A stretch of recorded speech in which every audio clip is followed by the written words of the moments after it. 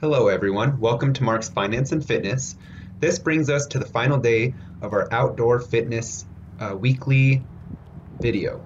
Today we are visiting the west side of Albuquerque. Uh, previously we went to the top of those Sandia Mountains that you see there. But now we are going to talk about the petroglyphs, which line for miles the west side of Albuquerque.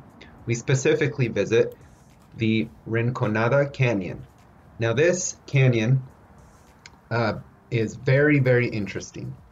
It is filled with many petroglyphs. The word petroglyph means that they are images created by removing part of a rock surface by incisioning, picking, carving, or abrading as a form of rock art. And in this canyon, there are over 1,200 petroglyphs. Now, these petroglyphs were formed and when I say petroglyph, I'm speaking either with the art that is chiseled on the rock or these uh, escarpments that you see um, leading up to the top mesa part.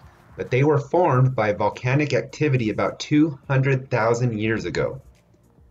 And what's really neat is that this is very much a place for a lot of different plant and animal life. And this is actually a national monument. There are many different hiking areas along the west side of Albuquerque. And in a lot of these pictures, I zoom in and you'll see ancient petroglyphs.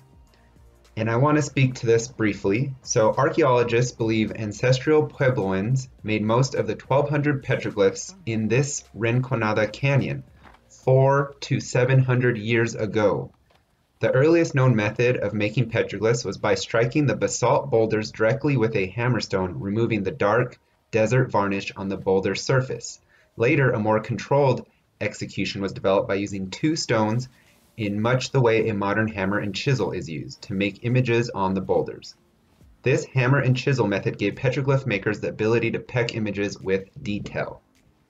You'll notice it's very sandy as well. There's some great history about that, uh, how that was formed by mountain chains to the west that got eroded by heavy rains, which helped form these petroglyphs. And Pueblo elders believe the images are as old as time. They also believe that the petroglyphs choose when and whom they reveal themselves. You may not see them all. The images include human-like figures, circles, spirals, anim animal figures, and geometric designs. Pueblo Indians use petroglyphs to teach their children about their history, culture, and spiritual beliefs. This was really awesome. This took us about an hour and a half. You can take up to probably two hours if you read all these neat information boards they have. And just looking up, it's amazing. There's thousands and thousands of these lava formed boulders. And like they said, there's over 1,200 petroglyphs, these drawings that these ancient people drew. It's amazing to me that after all these hundreds of thousands of years, these rocks are still very dark in color. The sun does not take away from the rich darkness that they are.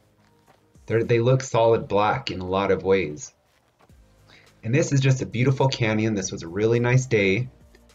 Uh, there's some more drawings as I zoom in, and they're everywhere. You just have to really uh, keep your eyes peeled and you'll follow in.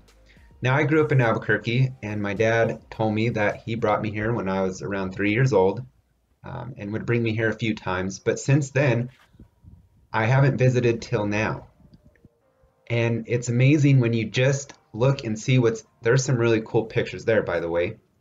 Um, but it's amazing when you just kind of explore your own backyard what you'll find. And I recommend everyone to do that. It's so beneficial. This was a cool shot. There's the moon, the sandias, and the petroglyphs in the city of Albuquerque. Remember, we went to the top of that mountain in my last video. And here shows the canyon. Um, but again, I can't believe I didn't visit here more often and I plan on doing it. It's a nice hour and, hour and a half to two hour walk. It's not that difficult. And it's just beautiful. So this brings me to the conclusion of my series. I want everyone to start planning some outdoor trips and travels around your area. You'll be surprised at what you find. Getting outside, walking, hiking, biking, whatever you can do is just good for someone's fitness and mind. And I really thank you guys for tuning in this week to my outdoor fitness series. This was my last one. And we will talk to you next time on a really cool financial topic. Have a great day.